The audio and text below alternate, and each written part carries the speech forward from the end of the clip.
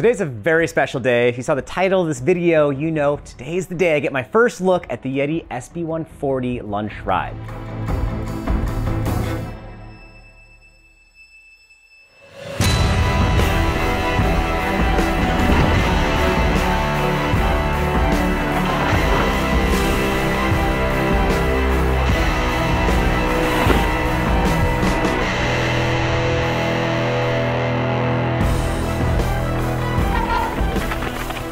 Before we dive into the bike, I wanna give a big thanks to my friends at Jenson USA who sponsored this video. Jenson is a top online retailer for mountain bikes, parts and accessories. They're here in the United States of America, and they're a dealer for Yeti cycles. I am also supported by PNW Components and Industry 9. I've got a link to the SB140 over at Jenson USA.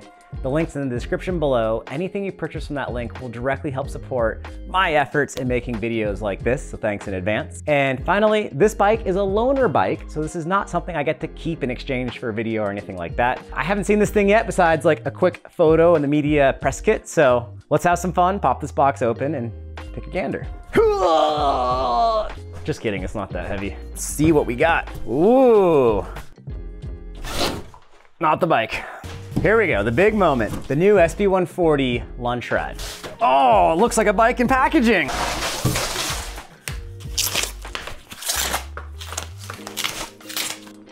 So this bike has a full SRAM build kit on it. I am actually a little tempted to try it. And this is also the AXS system, so it checks your email every time you go to shift. If you guys have been watching my channel for a while, you saw that I was riding an SB130 lunch ride last year for quite a while, and I liked it a lot. So much, in fact, that we bought one. My daughter's mother is now riding an SB130 that we straight up bought from Jenson USA. So I was stoked when Yeti reached out and said, hey, do you wanna ride the new version of the SB130? There's a bunch of cool updates, but they're pretty subtle if you're not like intimately familiar with the Yeti platform. So the SB140, formerly the 130, it's like the mid-travel, heavy-duty trail, almost light enduro category bike. It competes directly with like a Stumpjumper. Evil offering, an Ibis Ripmo, Orbea Occam. Yeah, this is a great kind of bike for the kind of riding that I personally most enjoy doing, which is like legit mountainous rides where you can kind of send it on the down, but you gotta cover 20, 30 miles to do your loop. So what's so new and great about the 140? Well, a whole bunch of stuff. It, nothing is drastically changed from the old platform, which is good because it worked so well. Similar geometry. The bike did grow by about 10 millimeters. The bearings now press into the linkages as opposed to the carbon.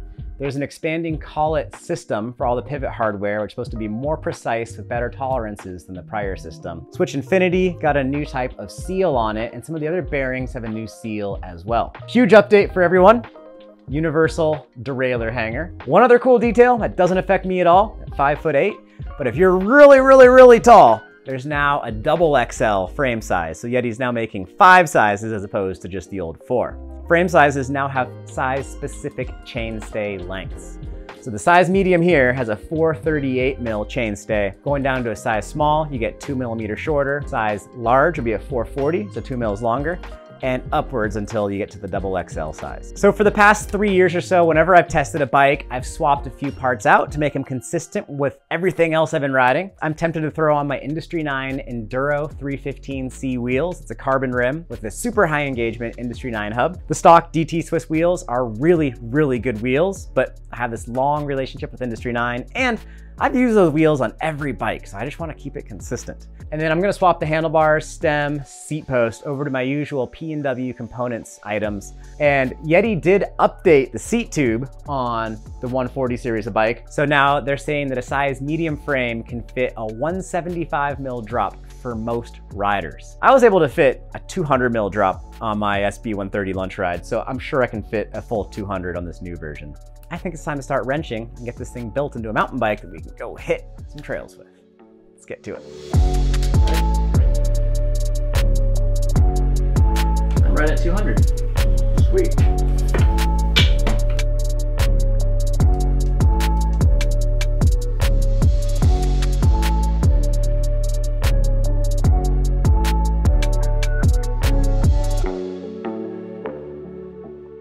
So we just pedaled up here, pretty sweaty day here, forest fire smoke all around us. Uh, normally when I film on bikes, I like ride them a little bit and set them up correctly and get used to them. So then our shots can be more exciting because I'm not like, I don't know what I'm doing. But today we're not doing that. Today we are doing very first ride. So let's try some trail. First trail on the SB140. See how it goes.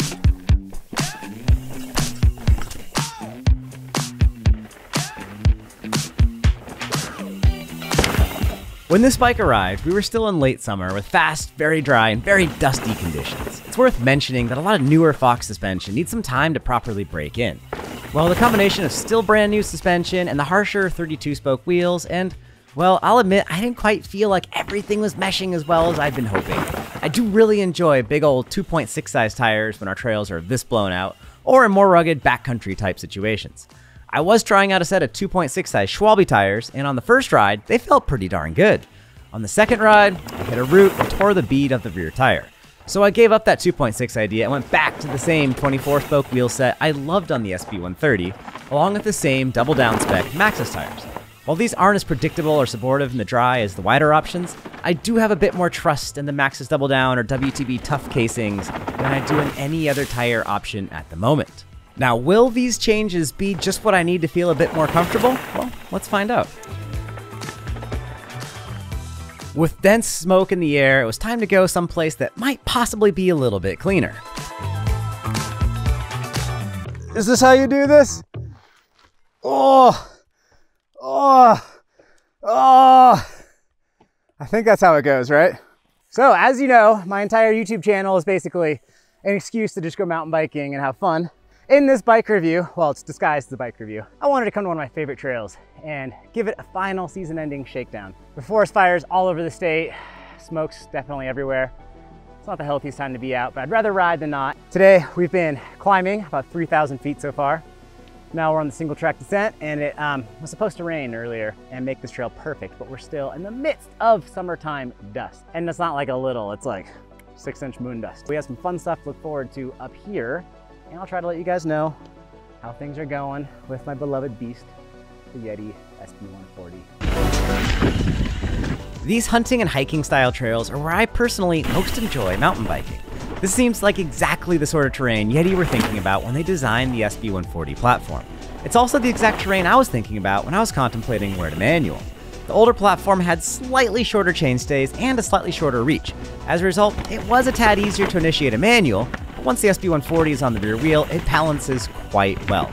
As for the wheel swap, that was a very positive change. I still don't think the fork in particular was broken in yet when we filmed all this, but when it's dry and dusty, that isn't that big of a deal.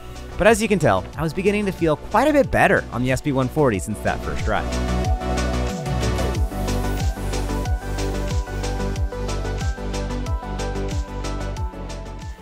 All right, here we go what's on the other side of the saddle. Oh my goodness, the Stuart range.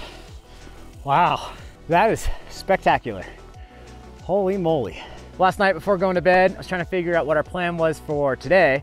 So I gave Mother Nature a phone call and asked, hey, what's going on tomorrow with weather? And she just replied, you know what? You don't need to worry about it. Just go to your bike ride and hope for the best and you'll have an adventure.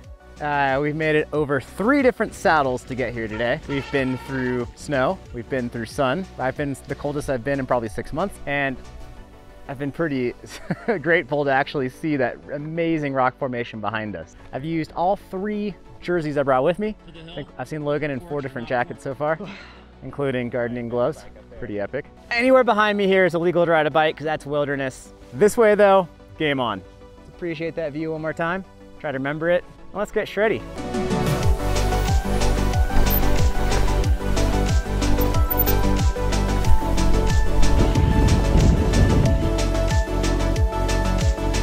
With more time on the new SB140, I started to learn that the faster you go, the better the bike feels.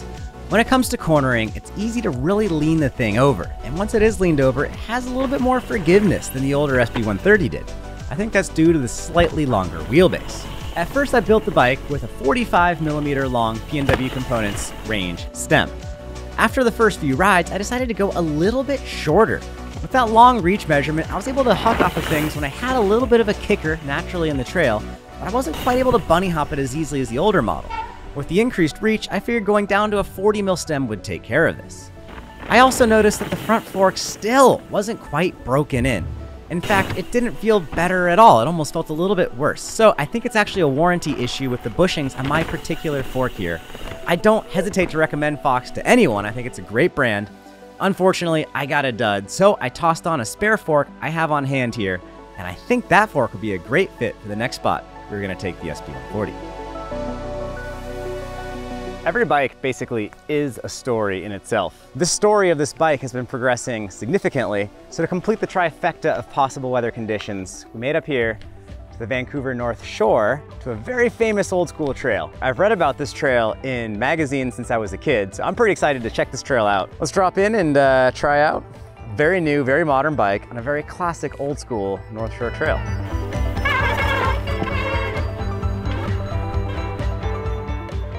The SB140 was right away starting to feel quite a bit better. However, more importantly, I was learning to how to better ride the bike. With the subtle changes, the bike rides better the harder you push into it. The more you ask of it, the better it does. This means that yes, you can ride it pretty quick through some pretty gnarly stuff. I remember noticing this with the old SB130, but the trait is amplified with the new design.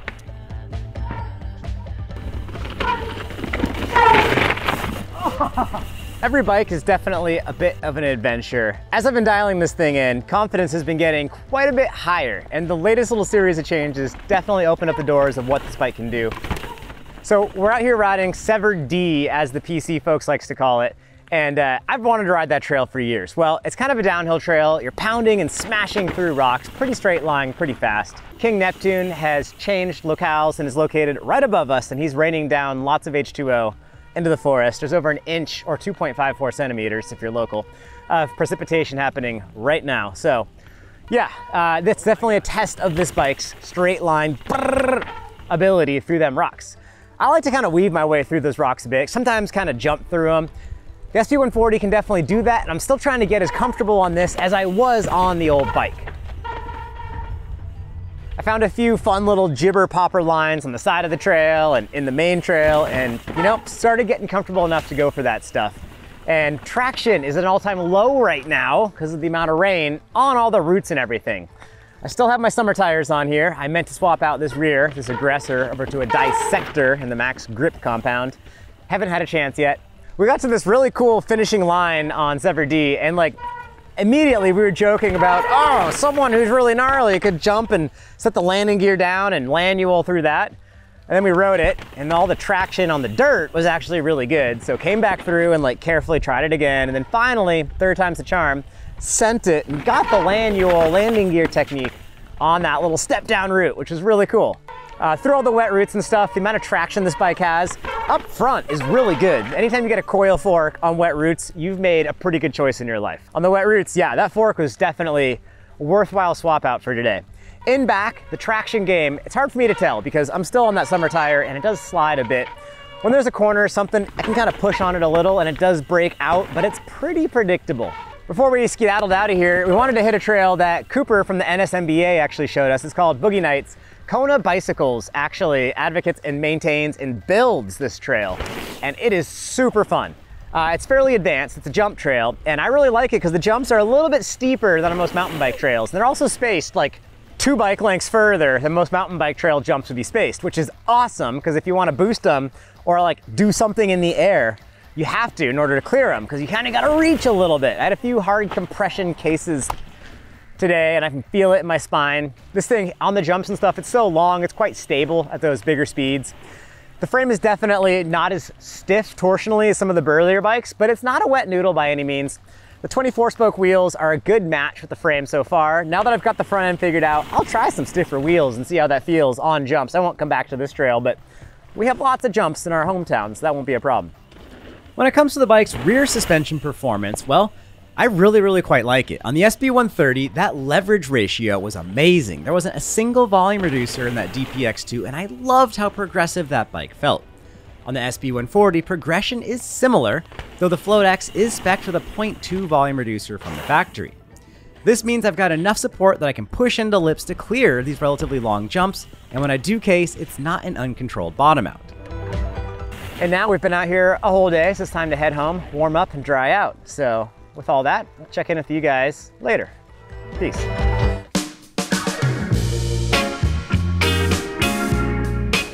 Well, hello there, everyone.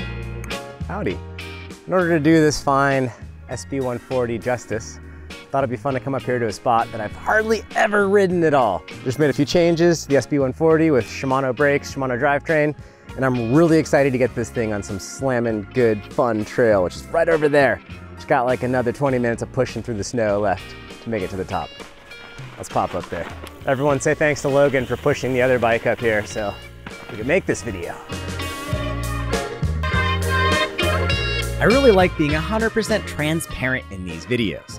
With the SB130, I got incredibly lucky in that the very first build iteration was a total home run, and I felt very comfortable right out of the box. With the SB140, I had a few little growing pains as I was trying to set it up. I was expecting it to be almost the same as the SB130 because the changes aren't that big. However, maybe I've changed, maybe conditions are different, I don't know. But once I worked through my few little hiccups, once I got the handlebars a little bit higher up with more spacers under the stem, shorter stem, swapped over to my preferred components and controls, everything started to feel really good. I'm now looking forward to really enjoying pedaling out some longer rides on this bike, and it's quite capable in the steep descents. I think for many of you that like a long travel trail bike that can handle near enduro level trails, something like the SB140 can make a lot of sense. I want to give a big thanks to Jenson USA for making this video possible. They're a dealer for Yeti, and I've got a link to the SB140 down in the description down below. I'm also supported by PNW Components and Industry 9. I want to give a big thanks to all of you for watching this video, for sharing your comments down below, and without your support, I couldn't be here in the first place. I also want to thank Logan for coming out and filming in the terrible, terrible cold, and also Riley for his help in editing. Thank you all so much for watching. I'll see you in the comments down below. Peace and wheelies. Goodbye, everyone.